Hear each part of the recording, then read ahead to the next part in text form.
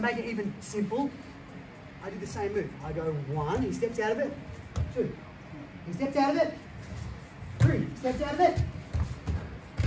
And so often when you're fighting uh, like competitors, they're tenacious in their brain. They attack, attack, attack, attack. You know, sometimes when we do judo jitsu, it's like, you know, I'll, I'll go for a half guard sweep at 50%.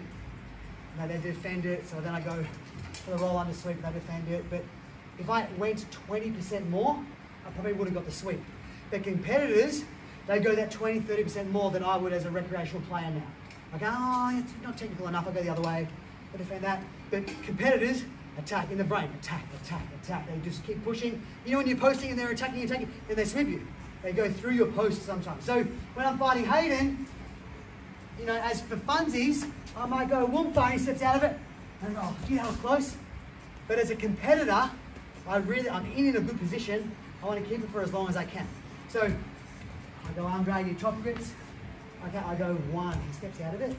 Now, now he's off balance, that direction. So I go for this, and you notice I'm always trying to get my heel. He steps out of it. Steps out of it. Keep going, keep going, Hayden. This happens.